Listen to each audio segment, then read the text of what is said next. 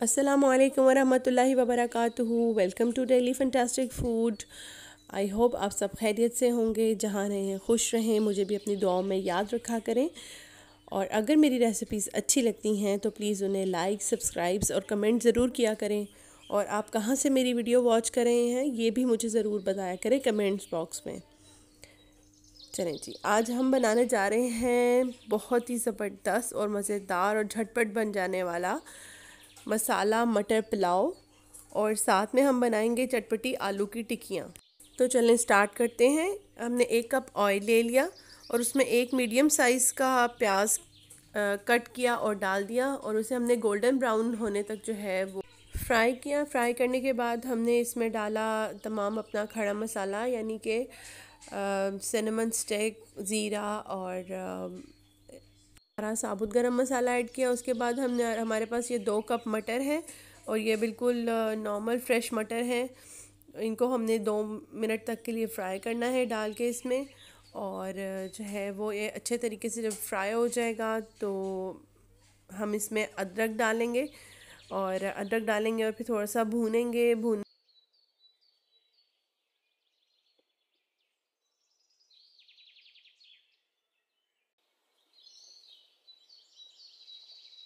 हमने एक बड़े साइज़ का टमाटर लिया, उसे चॉप किया और वो हमने इसमें ऐड कर दिया है। अब हम शामिल करेंगे इसमें नमक। नमक आप अपने टेस्ट के मुताबिक इसमें ऐड कर सकते हैं। मैंने यहाँ पे एक बड़ा चम्मच टेबल स्पून जो है वो ऐड किया है नमक का और अब मैं इसमें एक टेबल स्पून जो है वो गरम मसाला पाउडर का डाल रही हूँ और अब एक टीस्पून जो है वो मैंने क्रश्ड चिली का डाला है। जिसे कुटी हुई लाल मिर्च होती है। बस वही डाला है और इसके बाद जो हम इसे अच्छे तरीके से भून लेंगे।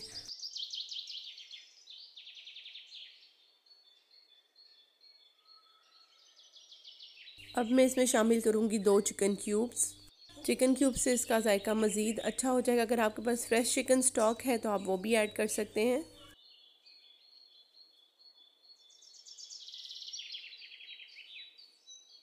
अब मैं इसमें ऐड करूँगी एक कप पानी और इसे हम थोड़ी देर तक पकाएँगे, उबालेंगे ताकि हमारे मटर थोड़े से गल जाएँ और जो है वो इसको हमने ढक दिया, ढक के थोड़ी देर गलने दिया और इसके बाद जो है वो मैं इसमें चावल ऐड करी हूँ। चावल मैंने यहाँ चार कप लिए हैं और इसको मैंने पहले दो घंटे पहले सोख कर दिया था पानी में, भिगो दिया था और उसके बाद अब हम मैं इसमें पानी ऐड कर रही हूँ।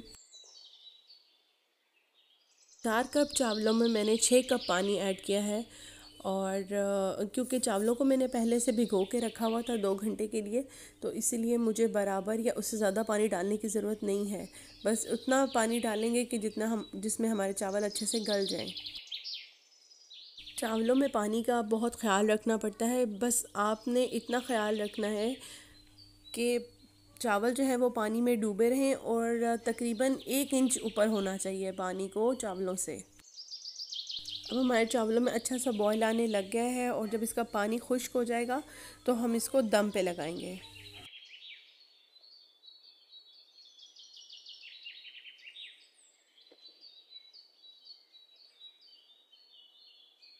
चावलों का पानी अब ड्राई हो चुका है, लेकिन अभी भी इसमें इतना पानी है कि जब हम इसे दम लगाएँगे तो हमारे चावल अच्छे से कुक होंगे और बहुत खिले खिले हमारे चावल बनेंगे। बस आपने इस लेवल पे जो है वो दम लगाना है चावलों को।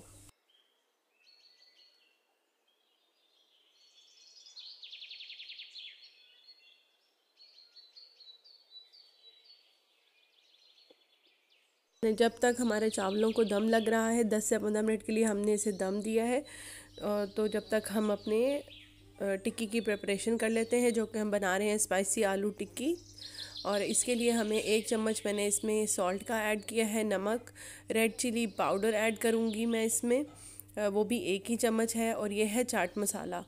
तो चाट मसाला मैंने तकरीबन इसमें एक बड़ा स्पून जो है वो ऐड किया है, यानी वन टेबल स्पून और उसके बाद यहाँ कुछ फ्रेश करेंडर लीव्स हैं, हरा धनिया, वो मैंने डाला है। और उसके बाद मैं ऐड करूँगी पुदीना, कुछ पुदीने के पत्ते हैं, वो मैंने काट लिए थे और वो मैं इसमें ऐड करूँगी। अब हम इन सब चीज़ों को अच्छे तरीके से मिक्स करेंगे। मिक्स करने के बाद हम इन्हें जो है, वो टिक्कियों की शेप देंगे।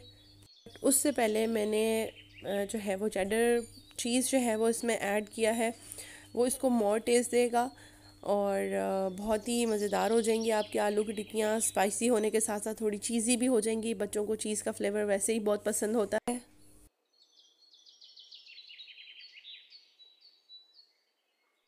इसी तरह हम सारी टिक्कियाँ जो है वो अपनी बना लेंगे।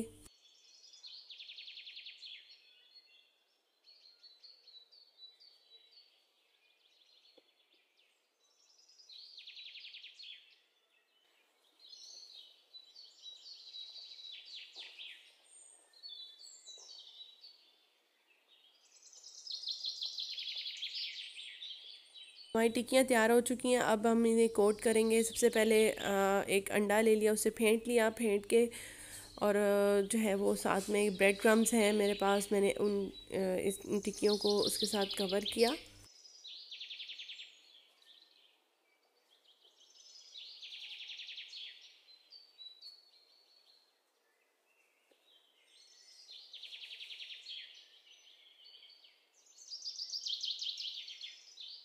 हमारी सारी टिक्कियाँ तैयार हो चुकी हैं। अब हम इन्हें फ्राई कर लेंगे। आपने बहुत ज़्यादा ऑयल में इन्हें फ्राई नहीं करना, यानी डीप फ्राई नहीं करना आपने। शैलो फ्राई करेंगे हम इन्हें।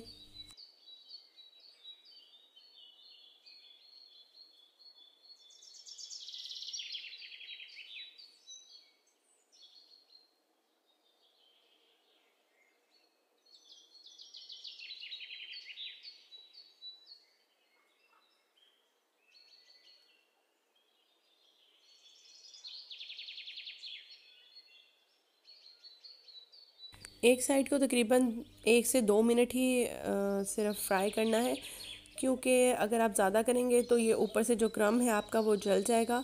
इसको लो मीडियम फ्लेम पे ही आपको फ्राई करना है। अब हम अपने पुलाव का दम चेक करते हैं। तो माशाल्लाह ये पुलाव जो है वो बिल्कुल डन हो चुका है और बिल्कुल रेडी टू सर्व है। और माशाल्लाह इसमें से जो खुशबू आ रही है, वो बहुत ज़बरदस्त है। आप भी ज़रूर ट्राई कीजिएगा और मुझे कमेंट में ज़रूर बताइएगा कि आपको ये कैसा लगा। और अगर आपको मेरी रेसिपी पसंद आती है तो प्लीज़ लाइक सब्सक्राइब और कमेंट करना ना भूलिएगा। और फ्रेंड्स एंड फैमिली के साथ शेयर भी ज़रूर कीजिएगा। मैं आपको पुलाव को डिश आउट करके दिखाती हूँ कि ये कैसा लग रहा है और हमारे चावल कितने खूबसूरत खिले खिले से हैं, बिल्कुल।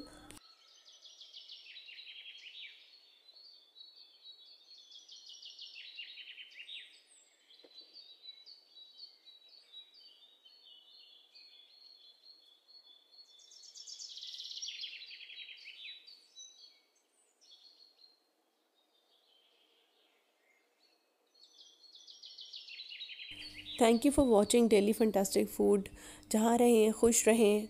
अल्लाह पाक आप सबको अपनी हिफ्ज़ अमान में रखें।